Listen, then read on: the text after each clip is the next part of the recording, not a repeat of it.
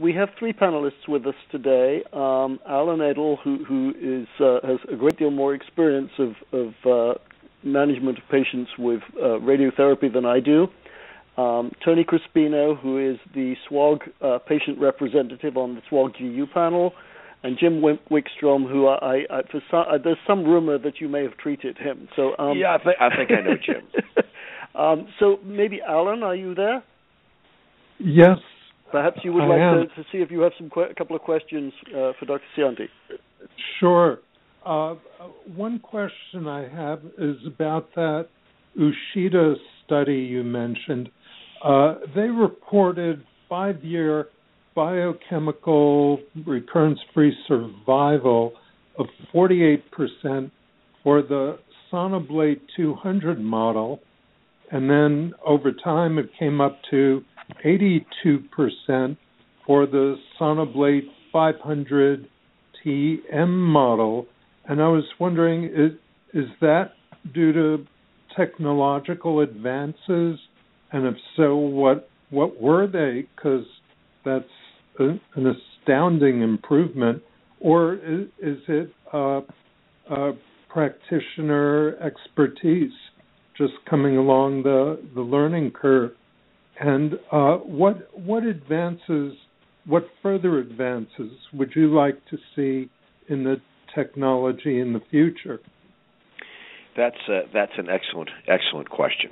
Okay, um, so to answer your question, I, I think it's there's been major technological advances. There's no way we can discount the fact that the practitioner got better. So there's a bit of both going on there. But the major advances, the Sonablate 200 was a very primitive device that can only treat the prostate, and, and I don't want to get too technical here, but it treated in a 60 degree sec- sector window, which means that you had to, you know, you had to treat the standard prostate instead of three zones in at least six, if not eight zones. Now, what that did is it left a lot of possibilities for uh, missing tissue. If you didn't have complete overlap, there was tissue that wasn't treated. Um, we know that once we start to deliver energy to the prostate, the prostate's going to swell. It's going to change size. So when we design a HIFU treatment, we're capturing a series of, of ultrasound images, and then we're we're we're designing a treatment to, to to to cover a series of captured images. Now, the minute you turn the machine on and start to treat somebody, the prostate changes size and shape. So it's a very dynamic process, but you're using a treatment plan that you designed at some point earlier in the procedure. And so if the prostate is changing size and shape, what was happening in those early days is the energy was going to a target that was old. In other words, the target changed and you didn't recognize it. So one of the first major advances made technically with the Sonablate was that it had what's called a restacking feature. It had the ability to, after five to seven minutes of treatment or so, or, or at numerous intervals, to take a brand new series of images and realign the treatment with the new images and then adjust the treatment to the changing target.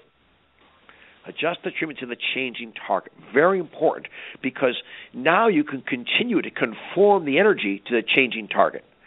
That was one of the major advances as you went from a, the Sonablate 200 to the Sonablate 500.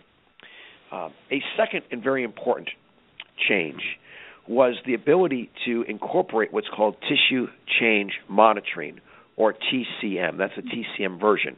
So as ultrasound energy goes from the transducer up into the prostate, there is some absorption and attenuation of energy on the way to the focal zone or to the target. Okay, and so as that occurs, there is really was no way to assure there is the proper deposition or absorption of energy in the target zone as opposed to it being absorbed in the pre-target zone or in the area where be, between the target and the and the rectal wall. And so tissue change monitoring is a mechanism by which the software is able to measure the the physical characteristics of the tissue on ultrasound before and after the treatment pulse and document the degree to which the characteristics changed. Okay. Now that was been documented in human in vivo in a study that was done uh, by Dr. Marburger, in which they were able to correlate actual temperature temperature changes in the focal zone with the measured TCM changes. So, from a practical standpoint, as one is doing the treatment with TCM, one delivers treatment to an area, and in real time, on the fly, as we treat, we're getting a direct readout from the software about whether each little volume of tissue we treat is getting the appropriate energy and whether it's changing. If it doesn't, we can go back and on the fly retreat that zone. So when we leave the procedure room, we have a better assurance that the area that's been targeted has absorbed has absorbed enough energy to cause a treatment change. That's been very important. One of the other changes that happen physically in the device is the size of the treatment lesion also increased between the Sonablate 2 and 200 and 400. And now we had available, for example, the ability to make a 12 by 12 by 3 lesion. And what that did technically, it allowed us to treat little larger prostates with more overlap between the zones. So those three tech, those three uh, advances, you know, going to a, a stacking mode going to larger lesions, going to tissue change monitoring were major technical advances. Now, those were in place uh, even several years ago because Yoshida's reported on outcomes using TCM, and, and TCM was introduced, and he first began to use it somewhere around uh, 2011 or so, 2010, 2011. As for the future, I think anyone who knows some of the work I do, I'm a major advocate of using MRI to define the disease as well as to help design treatment.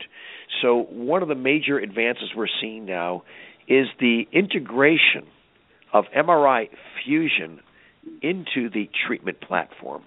So, in other words, we can use MRI to tell us several things. We can help us to understand prostate anatomy better. We can help us to understand the location of the neurovascular bundles, and we can help us to identify you know the locations of the most significant tumor location in the prostate.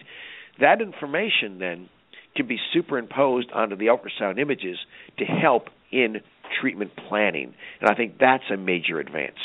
Um, so uh, that that is the future for that really exists now because that technology has been integrated into both manufacturers' platforms.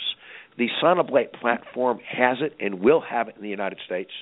And the uh, EDAP platform, they call their platform the Focal One that has MRI integration, is available in Europe. And it's my understanding that EDAP will plan to make that available soon in the United States as well. Okay, I want to make sure we have plenty of time for um, questions from, from the patients that are on the line uh, other than the panel. So, um, Tony, do you have one question for Dr. Scionti? Uh, yes, I do. Uh, thank you, Dr. Scionti, for a very comprehensive explanation. It's uh, very helpful. The uh, uh, question I come on over, being somebody that works from the clinical trial background, is informed consent forms. As we go ahead and address them in clinical trial setting, I hear your explanation that while the uh, uh, procedure is approved in the U.S., there's only so much claim about what you can say you're doing. How is this addressed directly with the, with the uh, patient, and how do you explain to them that while you can't say cancer specific, uh, perhaps what you can say at this particular point has enough, but maybe your your input on exactly what you can tell that patient is uh, very helpful. Well, no, I think that's a great point, uh, and that's that's why I tried to make that point earlier and try to you know work through what the FDA uh, you know um, uh, you know um, uh, language was. I think it's very important.